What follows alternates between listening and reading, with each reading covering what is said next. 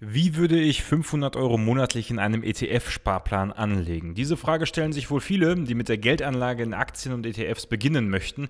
In diesem Video schauen wir darauf, welche Strategien ich persönlich anwenden würde, welche es überhaupt gibt, wenn ich denn einen Sparplan von 500 Euro im Monat bei einem beliebigen Broker anlegen würde. Vielen Dank an Jan Engelmann, Fabian Marquardt, Martin Klemer und Fabrizio Rutz. Wenn du den Kanal auch unterstützen möchtest, dann klick unter dem Video auf den Button Mitglied werden. Die erste Frage, die wir uns stellen, wann ist ein Sparplan überhaupt sinnvoll? Grundsätzlich gilt bei der Geldanlage in ETFs und Aktien, man sollte vor allem bei Aktien, aber auch bei ETFs immer einen Anlagezeitraum von mehr als 10 Jahren mitbringen.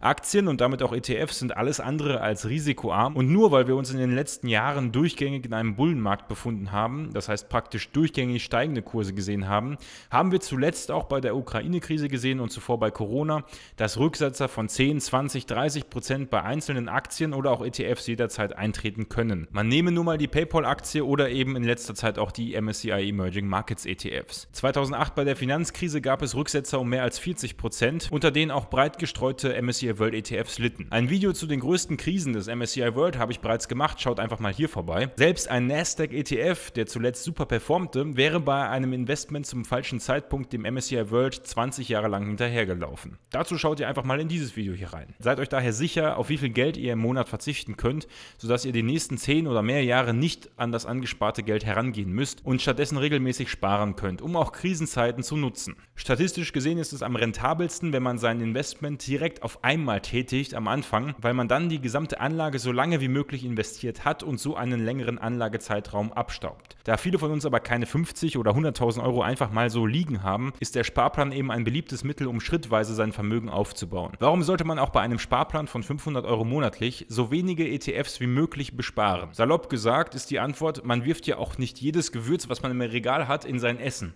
Auch wenn jedes für sich vielleicht einzeln genommen lecker schmeckt. Selbst bei einer Sparsumme von 500 Euro im Monat wären 10 verschiedene ETFs, die man bei einem Broker, der 1 Euro Gebühr pro ETF-Kauf verlangt, 10 Euro Gebühren im Monat. Im Jahr wären das 120 Euro, die du an Gebühren für den Broker zahlst. Immerhin also fast so teuer oder genauso teuer wie ein Spotify-Abo. Bei anderen Brokern, die zum Beispiel 1,5% der Sparsumme an Gebühren nehmen, spielt die Anzahl der ETFs hingegen keine Rolle, denn diese Summe ist bei 10 ETFs genauso hoch wie bei einem oder 20 verschiedenen. Bei 10 ETFs wäre also ein Broker mit 1,5% Gebühr pro Sparplanausführung oder pro ETF sogar sogar günstiger. Es gibt natürlich auch verschiedene Neo-Broker, die 0 Euro Gebühren anbieten, da erübrigt sich dann das Problem so ein wenig. Schaut da aber mal ganz genau nach, wie hoch die Kosten für den Verkauf von ETF-Anteilen sind. Je mehr verschiedene ETFs ihr kauft, desto schneller neigt man eben auch dazu, sich von seiner Strategie abbringen zu lassen und jedem neuen Trend ETF hinterherzulaufen, um Performance-Chasing zu betreiben. Bei einem 500-Euro-Sparplan würde ich hier ca. 1 bis 4 ETFs besparen. Die erste Variante ist ein klassischer MSCI All Country World Index ETF.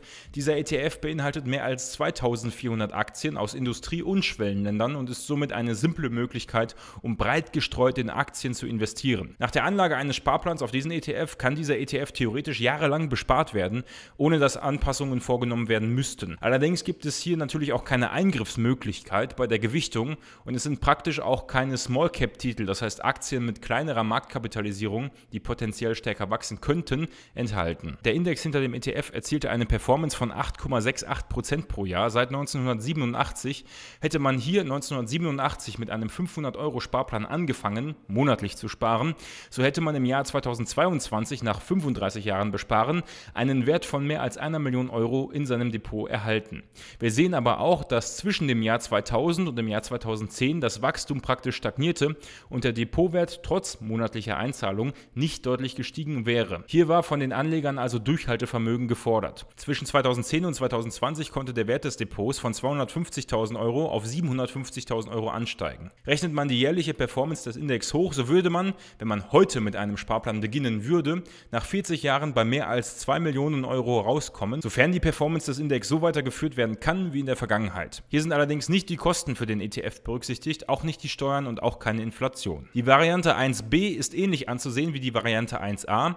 Es gelten dieselben Rahmenbedingungen wie zuvor, nur dass der ETF ausschüttend ist ist, also regelmäßig die Dividenden der Aktien im ETF an den Anleger ausschüttet. Der Vorteil, hier erhaltet ihr also regelmäßig die Dividenden und Zinsen der Aktien aus dem ETF auf euer Verrechnungskonto bei eurem Broker. Vor allem, wenn euer Depot bereits sehr groß ist, ist es ganz nett, regelmäßig automatisch Entnahmen aus dem laufenden Portfolio zu erhalten, beispielsweise auch um steuerliche Freibeträge auszuschöpfen.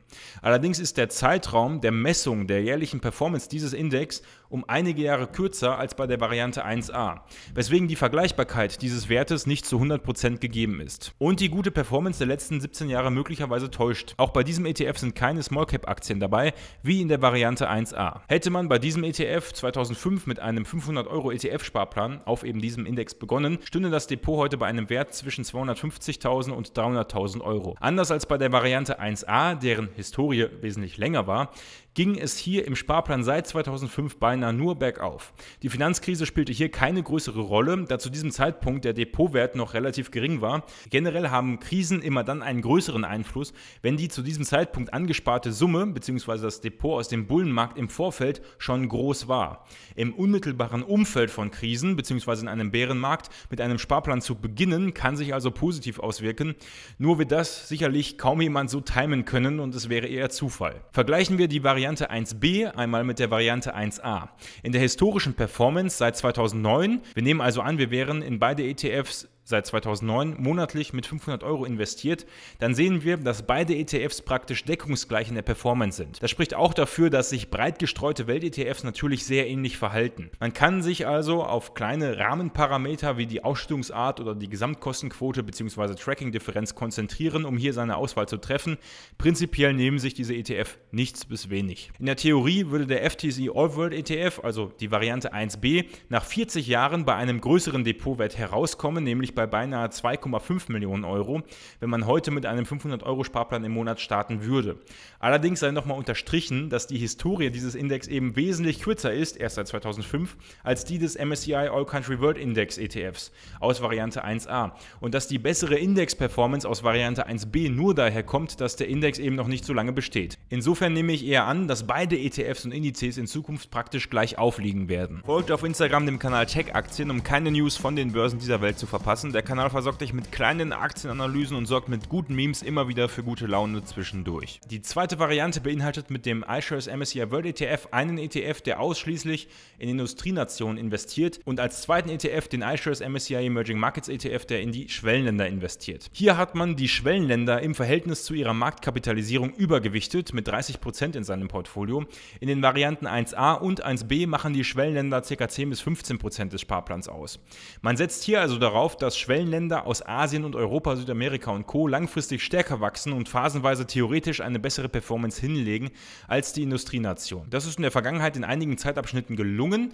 Diesen sogenannten Political Risk Factor habe ich in meinem Video zum Thema Factor Investing genauer erklärt. Schaut da einmal vorbei. Der Nachteil, hier benötigt man eben in seinem Sparplan zwei ETFs und die Small Cap Aktien aus den Industrienationen und Schwellenländern sind hier immer noch nicht mit dabei. Umgerechnet kommt man bei diesem Sparplan auf eine Rendite von ca. 10,9% pro Jahr, also zumindest im Index ohne den Abzug der Gesamtkostenquoten, was mehr ist als bei den Varianten zuvor. Es kann ja aber sein, wenn die Industrienationen oder die Schwellenländer jeweils zu stark wachsen, dass ihr dann mit der Zeit rebalancen müsst, wenn beispielsweise auf einmal durch das gute Kurswachstum in einigen Schwellenländern der Anteil der Emerging Markets in eurem Portfolio bei 50% oder mehr liegt.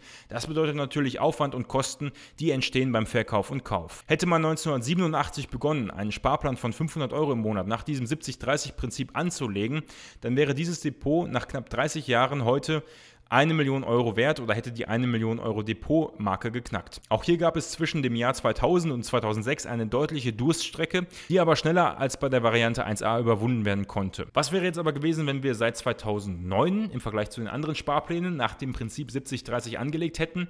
Dann wäre die Performance sogar schlechter gewesen als mit den Varianten 1a und b. Das liegt daran, dass die Emerging Markets, also die Schwellenländer, vor allem seit 2014 nicht sonderlich gut performt haben, zumindest nicht deutlich besser als der MSCI World World und die Industrienation. Die letzten acht Jahre war die Übergewichtung der Emerging Markets also wenig gewinnbringend. Das ist aber natürlich nur ein winziger Zeitraum. Auf Basis der theoretischen Gesamtrendite dieses 70-30-Portfolios aus der Vergangenheit würden wir mit einer Rendite von fast 11% pro Jahr bei einem 500-Euro-Sparplan ab heute bereits nach etwas mehr als 25 Jahren die 1 Million Euro Marke im Depot knacken. Nach 40 Jahren stünde dann theoretisch ein Depotwert von mehr als 4 Millionen Euro zu Buche. Wie gesagt, Kosten, Steuern und Inflation natürlich nicht mit berücksichtigt. Im letzten Video zum 300 Euro ETF Sparplan habe ich diese Variante hier bereits erwähnt und näher erläutert. Neben dem ETF aus Variante 1a, dem Spider MSCI All Country World Index ETF, ist hier noch ein ETF auf kurzlaufende europäische Staatsanleihen mit dabei.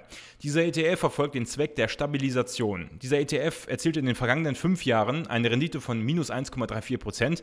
Seine Index-Performance pro Jahr seit 2009 liegt nur bei 1,03 Prozent.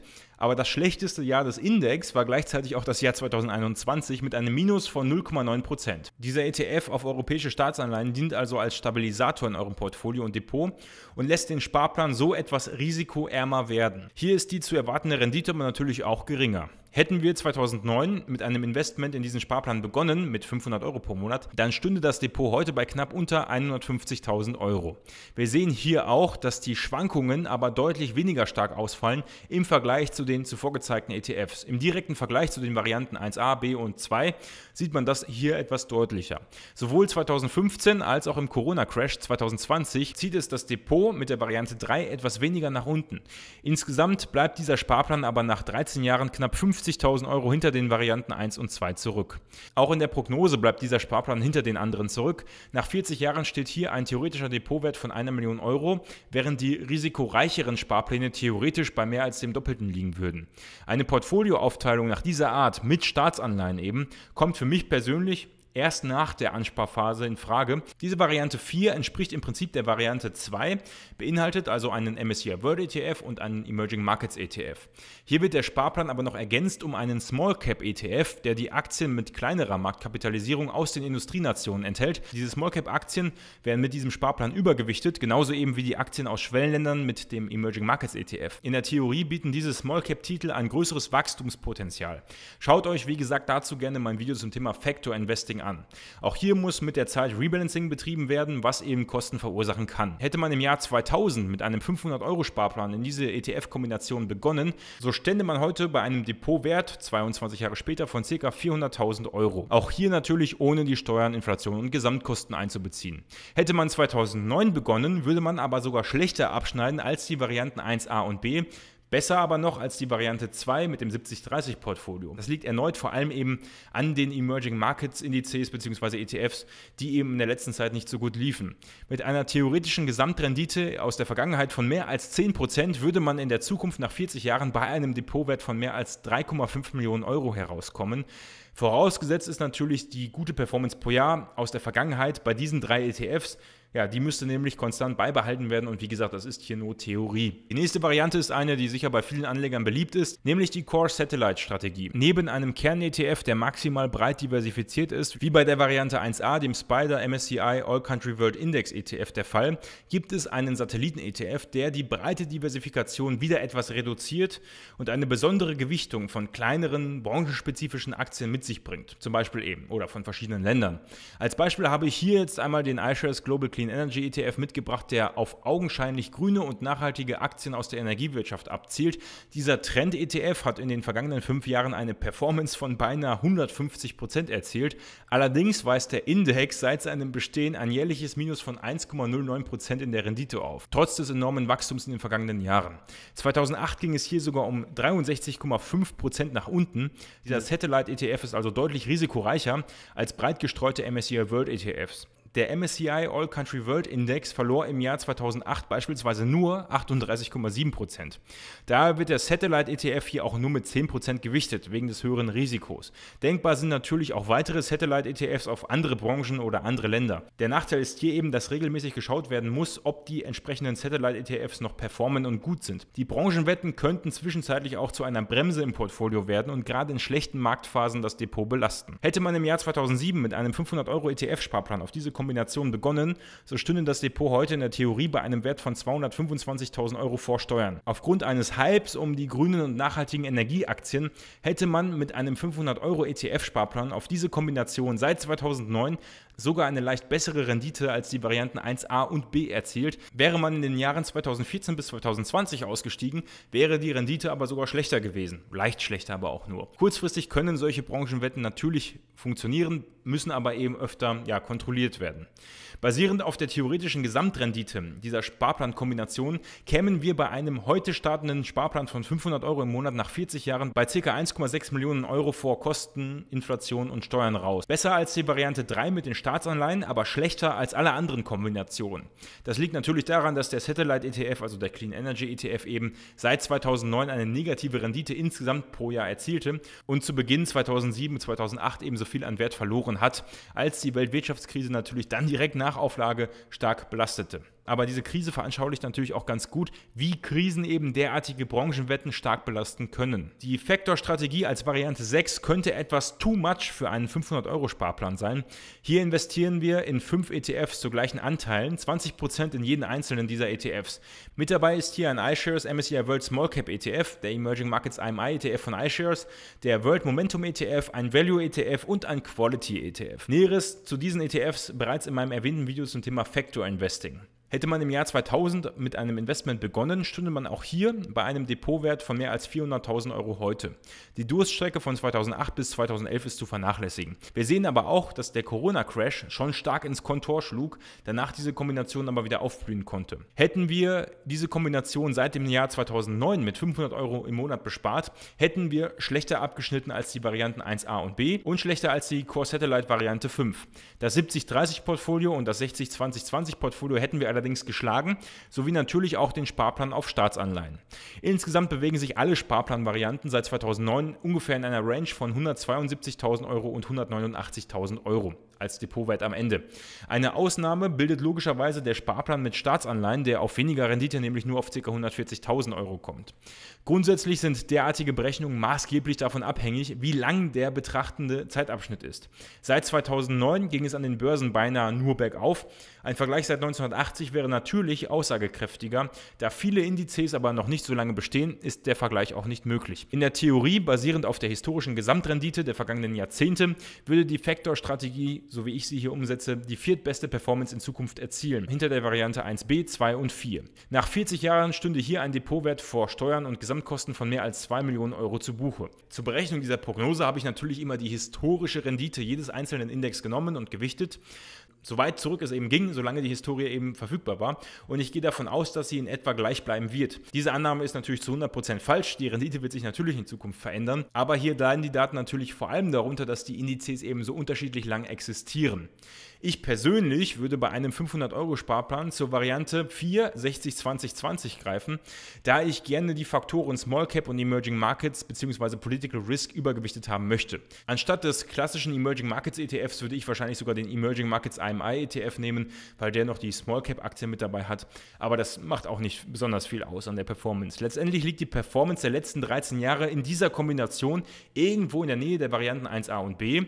Die Variante 6, die ich mit meinem aktuellen Sparplan anwende, in der Realität kommt für mich bei einem Sparplan von 500 Euro noch nicht in Frage, da ich sie bei der Sparsumme für zu umständlich halte, wenngleich sie für mich persönlich die Variante 6 die attraktivste Variante eines Sparplans ist. Das liegt aber natürlich auch an meiner persönlichen Vorliebe für das Thema Factor Investing.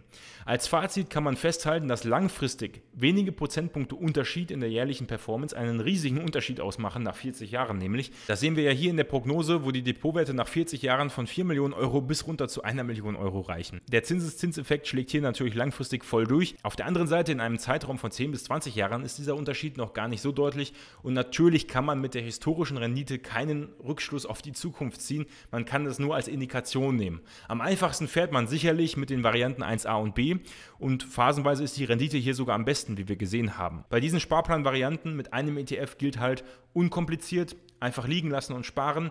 Das ist eben keine schlechte, sondern eigentlich eine sehr gute Option. Für welche Strategie würdet ihr euch entscheiden oder welche nutzt ihr bereits? Schreibt es gerne einmal in die Kommentare. Sagt mir auch gerne Bescheid, wenn ihr ein Video über einen 750 oder 1000 Euro ETF-Sparplan sehen möchtet. Wir sehen uns in der nächsten Woche mit der nächsten Aktienanalyse wieder. Bis dahin macht es gut.